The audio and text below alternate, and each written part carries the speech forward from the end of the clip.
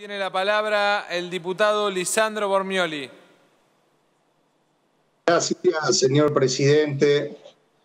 Bueno, antecedían en la palabra diputado que lo que cada vez que habla destila odio y ese odio está relacionado a la irracionalidad de sus planteos. Cuando uno ve el ciclo de, de endeudamiento en la Argentina y de desendeudamiento, es claro y salta a la luz, como por ejemplo fue en el primer gobierno de Juan Domingo Perón, que fue quien desendeudó a la Argentina y no solamente la desendeudó, como dijo Marcelo, sino que la hizo acreedora nuestro país, tenía la posibilidad de que prestar plata a otros países extranjeros. Pero Perón también le dijo que no al Fondo Monetario Internacional y fue la revolución fusiladora la que después, con el golpe que nos hizo, se incorporó formalmente al FMI. Luego vino la dictadura, señor presidente, con su ciclo de, endeudamiento, que como también decía Marcelo, sobre todo el endeudamiento privado, después que terminamos pagando, gracias a Domingo Cavallo, todos los argentinos al hacer pública esa deuda.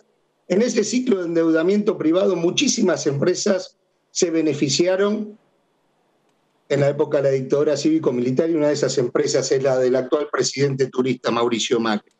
No es que le echamos la culpa por echarle la culpa a los gobiernos que nos antecedieron, en este caso Mauricio Macri, es la realidad y la realidad, como decía alguien, es la única verdad, aunque duela.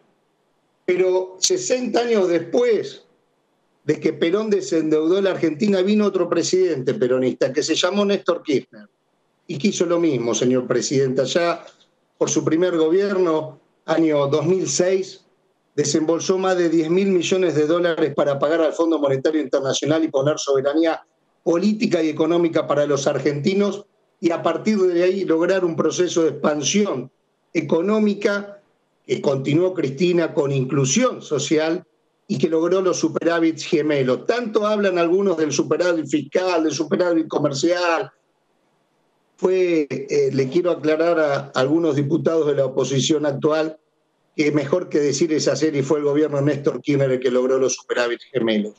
Y a partir de ahí el proceso económico argentino siguió y continuó con un proceso de expansión y de inclusión, señor presidente. Las empresas volvieron a abrir, a producir y los que estaban desocupados pudieron volver a conseguir trabajo ni hablar de la continuidad de nuestro gobierno con Cristina, sus dos gobiernos, los procesos de inclusión y de afrontar crisis internacionales que golpeaban al mundo y mucho a Argentina, y sin embargo el gobierno de Cristina no hizo una sola política en contra de las grandes mayorías.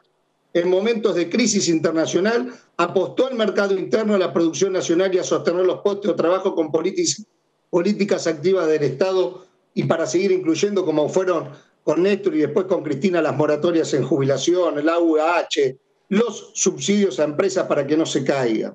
Pero no tenga duda, señor presidente, que ahora Alberto, con esta gran noticia que nos dio hoy en día, porque también Vaya el idealismo en la política, sí, ya voy, ya, voy cerrando, el idealismo en la política. Además de recordar que me debe un cospel, ¿eh?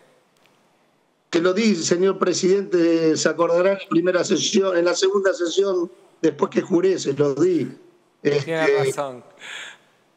Acuérdese, señor presidente, usted me ganó la apuesta, eso sí.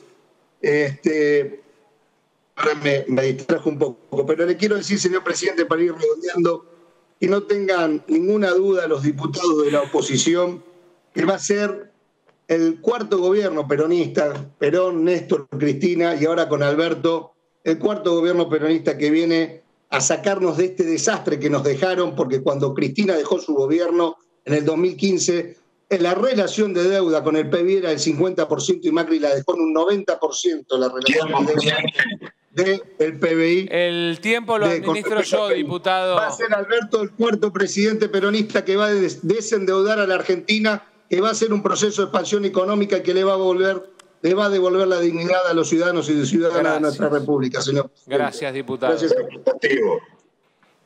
Le reitero, diputado, que el tiempo lo administra la presidencia. Gracias. Silencio, por favor.